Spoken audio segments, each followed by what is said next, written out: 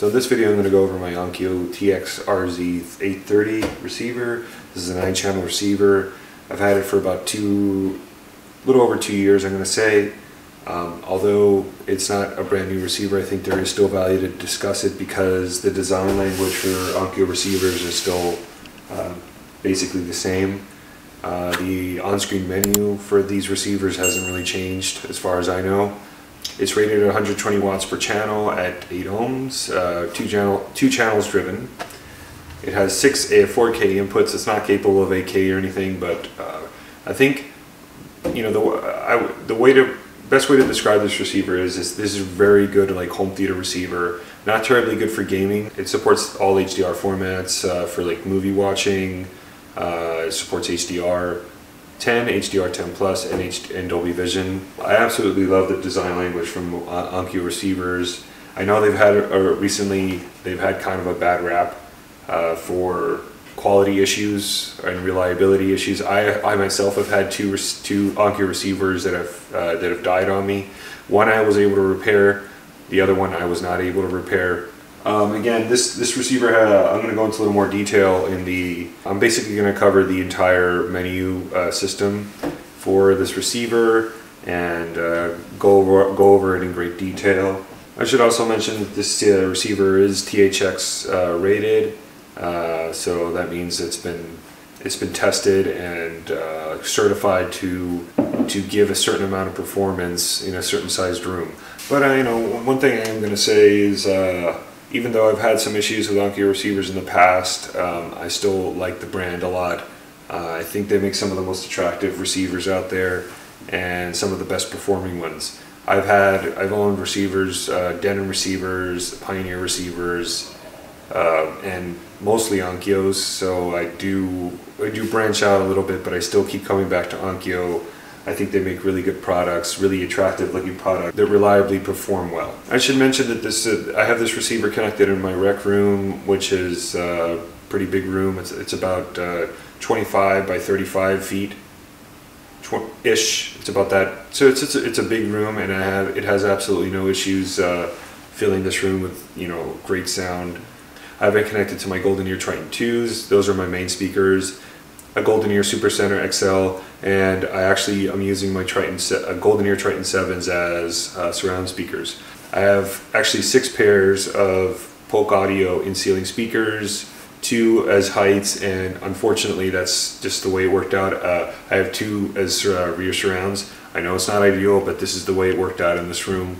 So one of the selling features of this uh, receiver is that it is actually Class D. It, has, it, it it employs Class D amplifiers, which means they're very efficient and uh, play loudly and cool and, and stay cool. So this receiver has an oversized chassis and measures 8 inches high, which uh, really gives it uh, like presence in your rack. Uh, uh, I especially like Onkyo receivers that are the, of this size. I don't like the smaller ones. I tend to, I try to buy receivers that are at least, I would say at least 7 inches tall. Uh, but this one is a, has a nice 8 inch footprint, or I mean, or height, I should say, and uh, I really like that about it.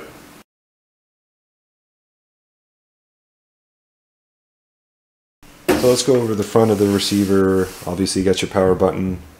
You have uh, your you got a listening control knob and tone controls here, so I can go bass or reduce bass. And then you can, if you hit the button, it goes to treble. So I, I'm I like to keep it flat personally.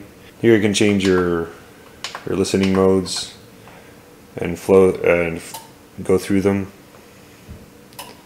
Personally, I like double surround on most things. Obviously, here's the volume knob, which is very nice and smooth. Uh, it has a little bit of resistance to it, which makes you know gives me that sense of quality. Um, it uh, here are all the you have input selectors here from for each individual input. Here you have a net more inputs here. There's some zone two and zone three selectors as well or you can shut off the zoom. Um, I especially like it when receivers have like a like a like a door like here, which which allows it to keep its this nice clean look. If you lower this and which actually goes down really nice and smooth, you get you get more uh, options and buttons here, which and obviously an uh, a nice HDMI uh, out, and this is the this is where you'd plug in your mic for for doing uh, using the auto the auto calibration uh, microphone that's included with the receiver, and obviously you got your quarter inch headphone jack as well. Here you got a lot, a lot more buttons, uh, so you can get a little more granular on setting up. Obviously, you're probably going to do most of this stuff on your on your remote control, but it's good to have a redundant redundant option here. But uh, yeah, I think this receiver is nice and clean. Um, I like that it has like the speaker. It tell it has a speaker matrix here, and it tells you you know what what what what speakers you're using. Right now, it's set up in 7.2.4 because I have an external amplifier connected to it. This this amp, uh, I'm going to go into a little more detail in the menu section of the video, but this amp goes, uh, this amp supports natively up to 7.1.2, or you can do 5.1.4. And but with an external amplifier, you can do up to 7.1.4, which is pretty cool.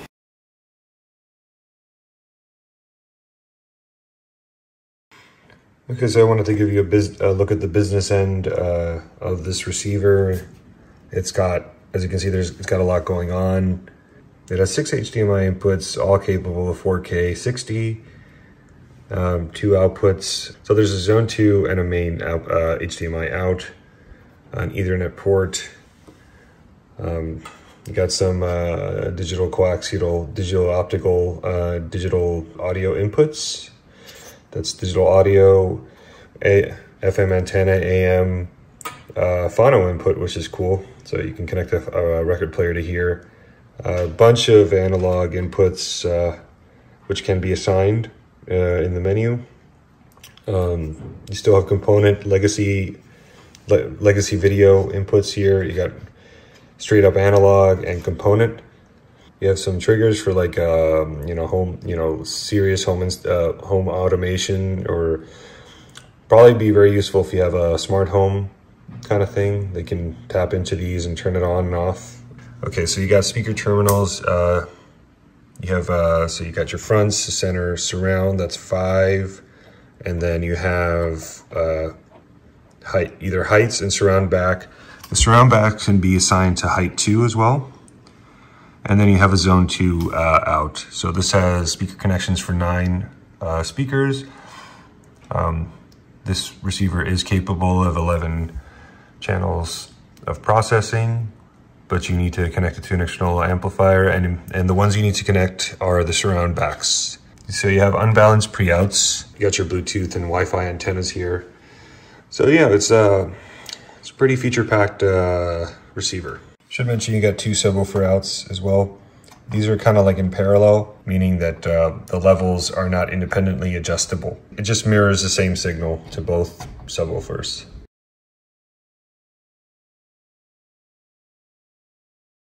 Okay, so in this video I'm going to go over the main menu uh, or on-screen menu for my Onkyo RZ830.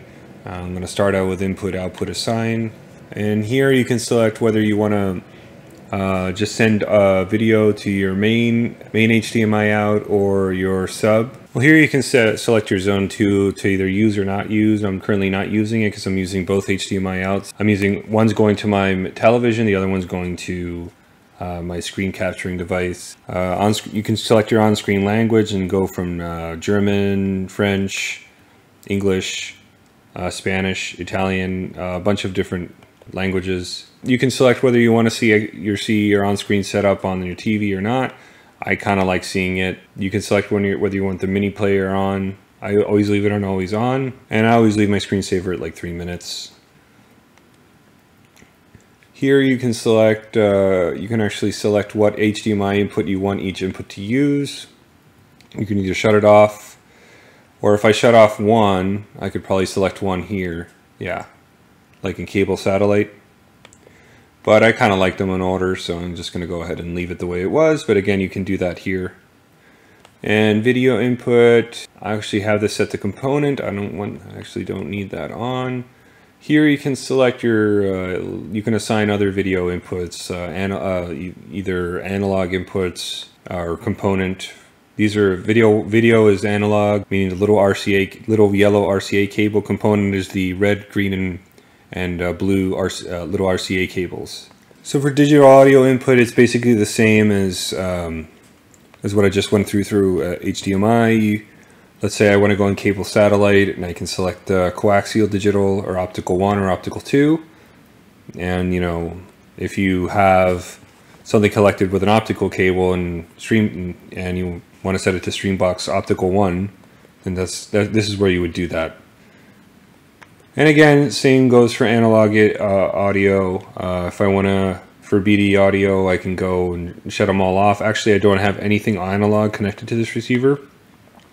So I'm going to go ahead and shut them all off right now.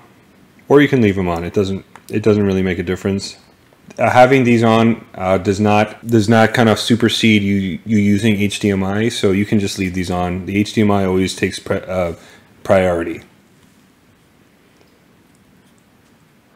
Okay, so this is the interesting stuff for speakers, know. So configuration. So this receiver can handle is an this is a nine channel receiver, so it can actually handle uh, either its maximum configurations are seven 7.1.2, which is seven main channels plus two Atmos height channels, and or you can do five main channels and or and five and five and four Atmos channels. This I have set to 7.1.4 because I actually have an external amplifier uh, connected to it, which allows me to, to process another an additional two channels. Uh, you have to connect them to your to your rear surrounds. So you connect them to your rear surrounds and then you can do 7.1.4. So I'm gonna just go through all of them real quick. You can go from 2.1 and you, you can see it changes up on the screen there. You can do 3.1, 4.1, uh, 5.1, which is basic surround as, as far as I'm concerned. So uh, yeah, you can do 6.1, which is which uh, which is all main channels except the center channel, which I don't know who would do that, but you can do that here. And then this 7.1 adds the center channel. So this is like what you would consider like a full surround system configuration right now. This used to be what you would consider the top of line surround sound system until before to things like Atmos came along. So Atmos or DTS:X. Okay, so now we're getting to more at, to Atmos uh, style. We're getting to Atmos. Uh, here it's 2.1.2, so you got two two main fronts and two heights. And then you're adding a center to that same configuration, 3.1.2. 4.1.2 eliminates the center but adds two surrounds.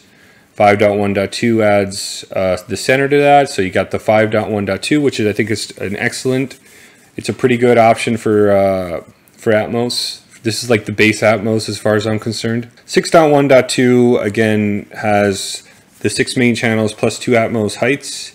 Again, 7.1.2 which was the which would be the top. This is one of the top configurations that you can do in this receiver right out of the box. Then you got 4.1.4, which uh, is uh, uh, four main channels, I guess two fronts and two surrounds, but no no center. But you got the four heights height speakers. There you got the 5.1.4. Again, if you do the uh, four height channels, this is the this is the most this receiver can do right out of the box with four height channels, so 5.1.4. Here you got 6.1.4, that again, no center, but six main channels. This is my current setup in my room. Uh, you can change the, uh, the type of height speaker that you have. I have top fronts, but you can have top middle, Dolby front, Dolby speaker front, which these are speakers, these are the speakers that bounce, that uh, rest on top of your main speakers and they bounce off the ceiling. Um, don't necessarily recommend those. Uh, I say only use them if you have no other choice. I keep saying that every time. I, I prefer front highs like the way they're here. Uh, but again, I have top fronts, which I have I have ceiling speakers, in ceiling speakers my, as my top fronts. And the rear highs, again, if you have the, the, the speakers that bounce off, the Dolby speakers that bounce off the ceiling, you can have them on the uh, surrounds, or you can have them in your backs. It's cool that it gives you the choice. And you got top rear, which is what I have. Rear high, again, what I think would be better, but you know, so let me put them back. So top rear is what I have because I have, again, I have in ceiling speakers. If I go down, I have, yes, I have a subwoofer. I have two, uh, I have a top, I have two top fronts and two top rears. I don't have a zone two in this uh, in this room, and obviously speaker impedance. I my speakers are six ohms, but you can select four or six. So crossover, uh, I have my front set to full full band because they have integrated subwoofers. Um, this is kind of like how I like it right now in my room. I, have been messing with it and I kind of like landed here. Again, I, I, did run my the, the auto EQ that this receiver has, but I tweaked it a little bit. So yeah, I have my center at 60 hertz, my two, my height's at 80, My surround speakers, which are actually tower speakers, I have uh, GoldenEar Triton 7s as my towers, my, my, my surrounds.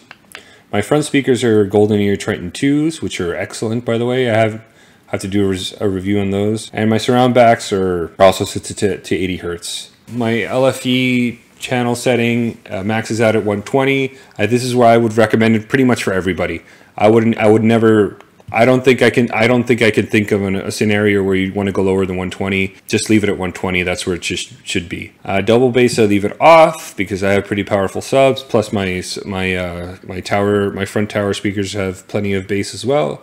No need for double bass in my scenario, but there are there are uses for double bass, which I will not go into detail here, but there that can be useful. Uh, this show the, here you can mess with the distancing. I didn't mess with it. Uh, I let the receiver do its thing and do all, all its measurements, and I think it was spot on or very close. And I, I it sounds good to me, so I left it alone.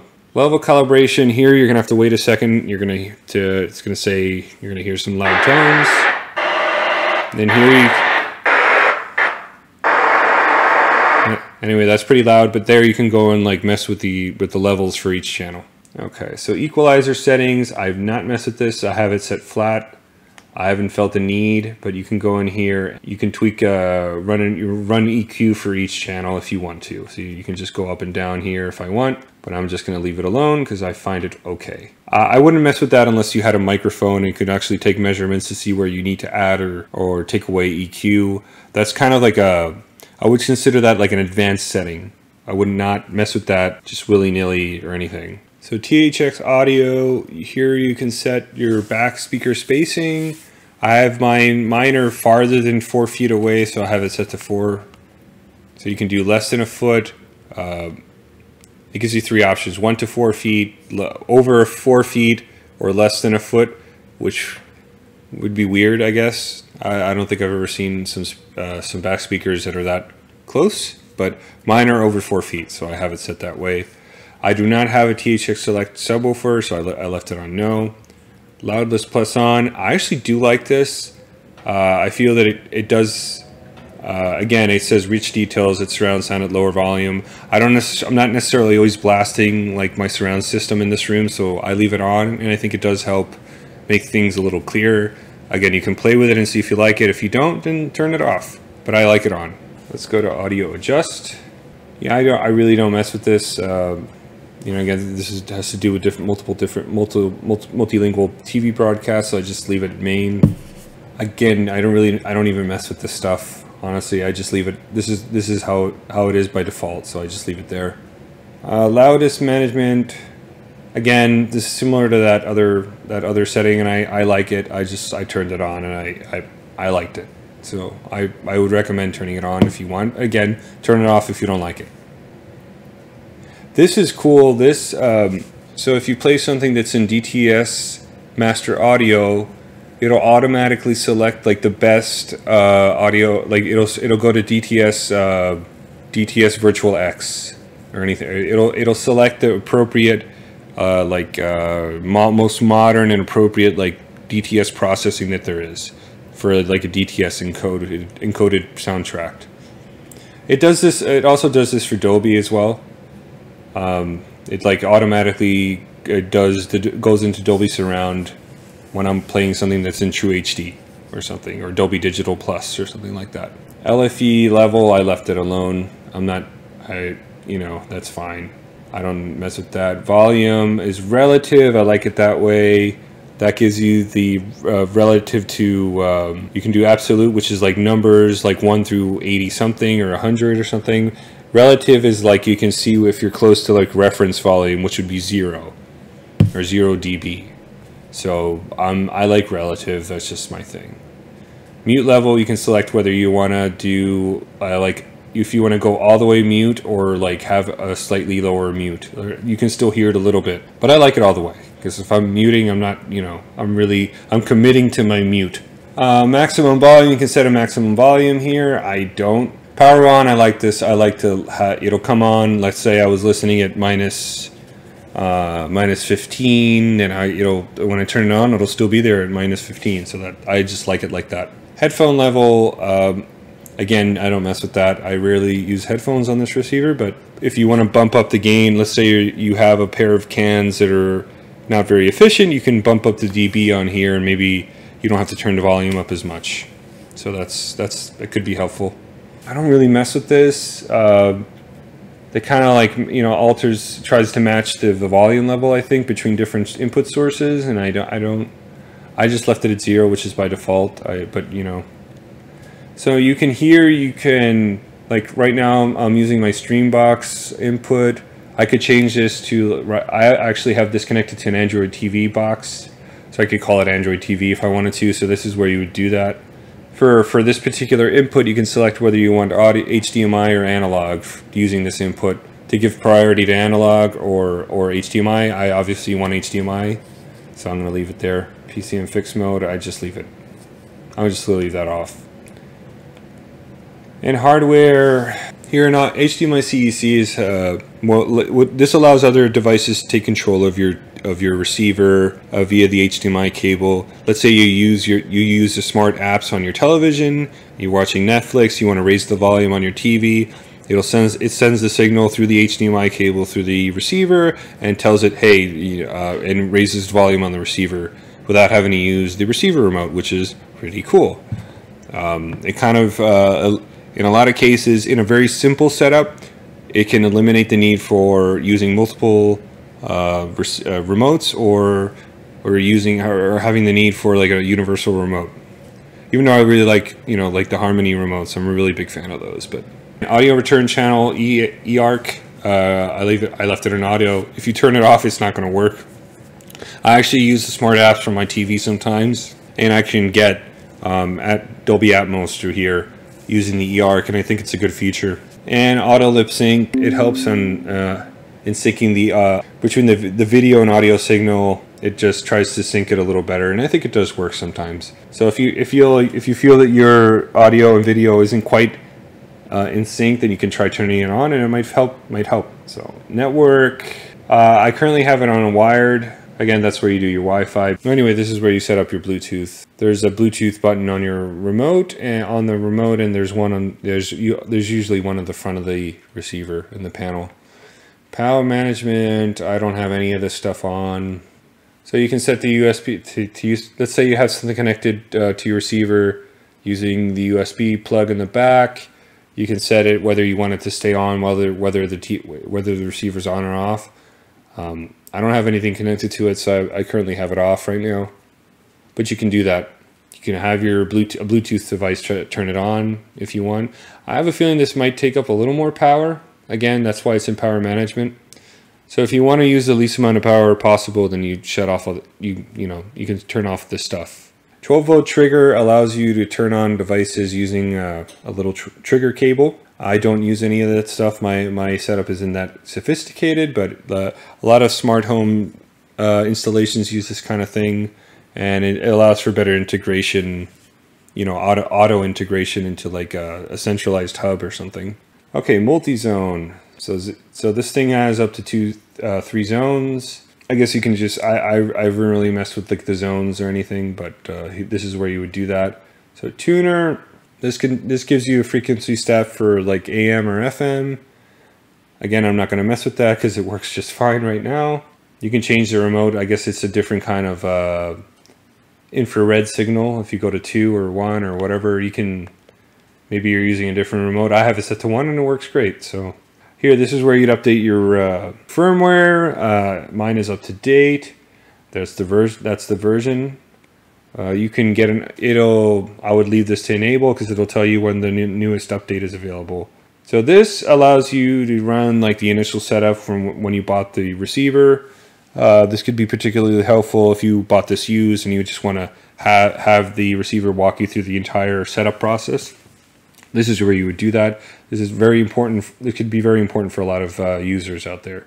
So here you can lock your settings if you want. I currently have, have it unlocked.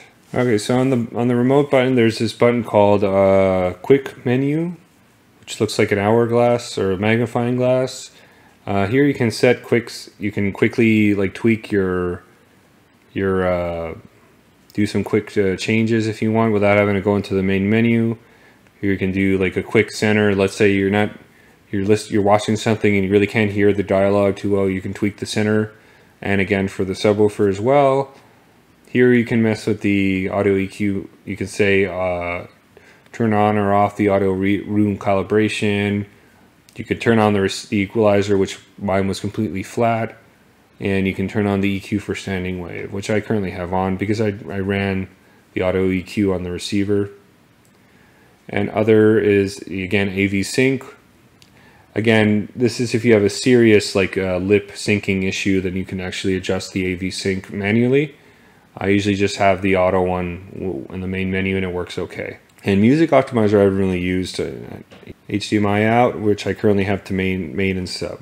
If you hit the net button, pull up this screen and this gives you all the uh, streaming audio options available on this receiver, including Pandora, I guess Pandora, Spotify, Tidal, Amazon Music.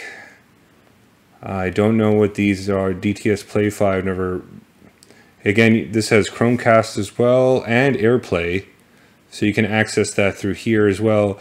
You can also, you cannot, this, this receiver also accepts AirPlay. You can look through it on your phone. If you've ever used AirPlay before, it'll just show up. And you can play audio through AirPlay very easily. Um, or Bluetooth, whatever whatever you prefer. But it has AirPlay, Chromecast, uh, a music server, which I believe if you uh, you have to have a server connected to it, some kind of computer. Uh, again, I don't have a server right now connected to it, and you can have uh, music music files on a USB stick as well, and have that connected, and it should work.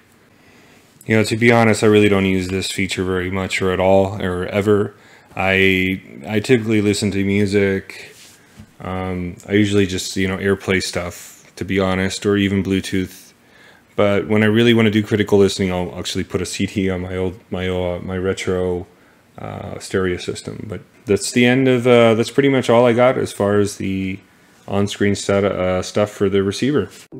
Well, if this is your first time watching my channel, welcome. It's good to have you. If you have any questions about the receiver or anything for that matter in my room, I'm happy to answer them in the comments. It would really help the channel if you liked and subscribed, and I'll see you in the next one.